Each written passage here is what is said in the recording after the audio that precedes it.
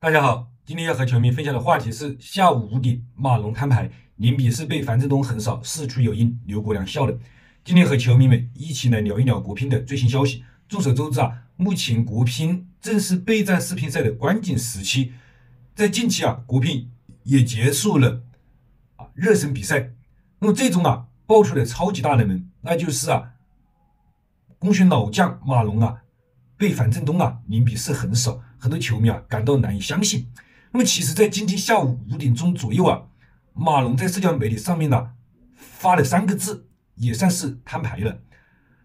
马龙用“大合影”三个字啊来显示出了自己的良苦用心，同时啊也可以看出马龙作为国乒领军人物的大格局。在马龙的心中，国乒就是一个团结。友爱的大集体，马龙内心深处，一切都是从国乒的利益出发。虽然说马龙缺席了本次世乒赛的比赛，但是马龙啊，依然选择回归球队，作为樊振东的陪练，来帮助樊振东啊，强化世世乒赛前的集训效果。那么马龙的回归。同时啊，也给樊振东带来了一些压力。如果说在热身赛中樊振东能够击败马龙的话，那么最终啊，樊振东在出征世乒赛之前啊，将会获得极大的信心支撑。那么最终啊，樊振东凭借着自己的实力，再加上马龙的良苦用心呐，也是做到了四比零横扫的老大哥马龙。那么这一切的结果呢，也许是马龙希望看到的局面。那么现在啊，马龙在本次世乒赛啊也算是功成身退。樊振东通过热身赛获得了极大的精神鼓舞，同时啊，樊振东也通过与马龙的强强对话，进一步的加强了个人的技术环节，并且在面对马龙的时候，对樊振东的心理状态的调试啊。也是有很大的利好作用。其实樊振东目前排名世界第一，个人实力啊毋庸置疑。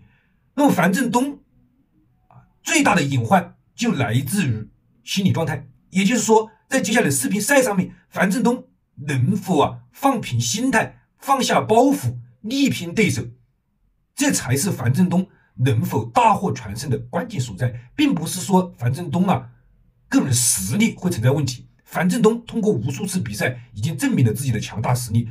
他与马龙在技术层面上也是旗鼓相当。那么现在，樊振东大胜马龙，更加增添了自己的自信心。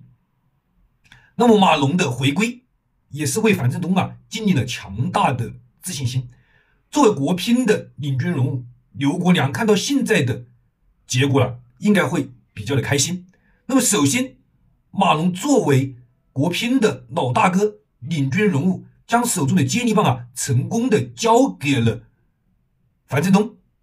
同时呢，樊振东也是不负众望啊，凭借着自己的强大实力，战胜了老大哥马龙，正式成为了男队的领军人物。那么在接下来的世乒赛上面，当国乒男队遭入困境的时候，那么樊振东就有信心站出来啊，力挽狂澜，扛起。国乒的大旗，这应该是刘国梁知道运筹帷幄的结果，也是球迷们希望看到的满意答案。大家认为呢？今天的分享到此结束，我们下次再见。